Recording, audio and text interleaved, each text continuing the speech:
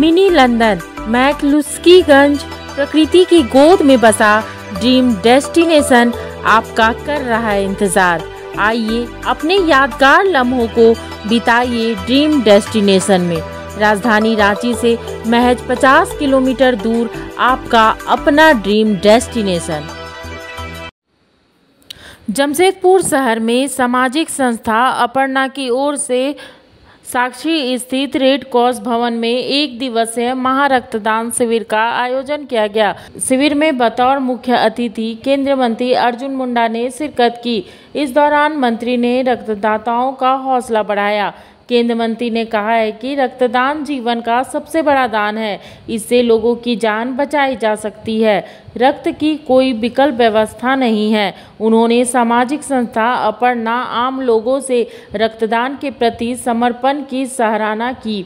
वही अपर्णा की संरक्षण एवं भाजपा नेता अमरप्रीत सिंह काले ने बताया कि 1500 यूनिट रक्त का लक्ष्य निर्धारित किया गया है। रक्तदाताओं के हौसले को देखते हुए उन्होंने इस लक्ष्य को हासिल करने की बातें कही।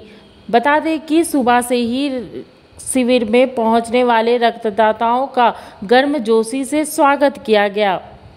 न मैं वास्तव में बहुत ही आह्लादित हूँ।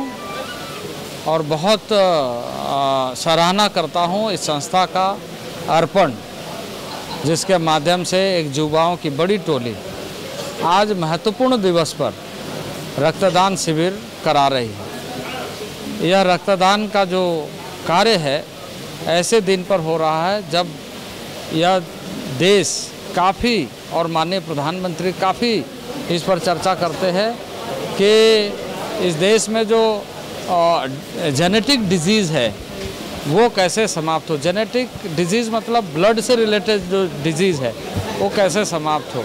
और हमारा मंत्रालय भी इस पर बहुत काम कर रहा है।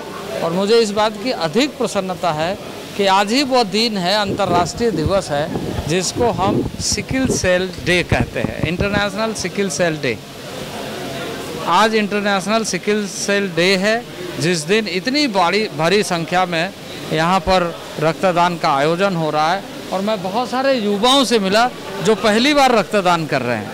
क्या उत्साह है उसमें? तो ये मैं समझता हूँ कि इस देश में जो जेनेटिक डिज़ीज़ है, उसको समाप्त करने के मामले में एक महत्वपूर्ण कदम और साथ ही साथ तत्कालिक रूप से किसी का भी जीवन बचाने का सबसे बड़ा एक व्यक्ति का योगदान है रक्तदान के माध्यम से। देखिए, अर्पण परिवार प्रत्येक वर्ष, पिछले कई वर्षों से ये कार्य को बहुत ही शिद्दत के साथ ये कर रही है।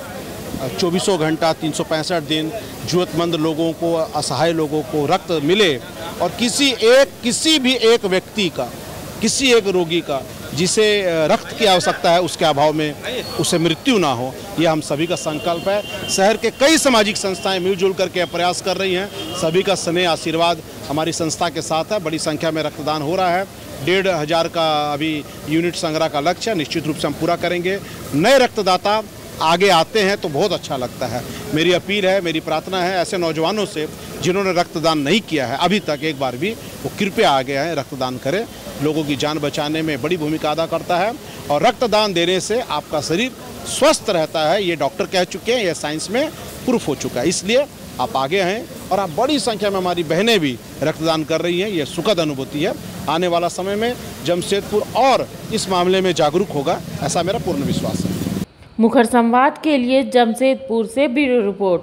H M public school, lower Chutia, near Shiv Mandir, Ranchi. हम बनाते हैं बेहतर भविष्य।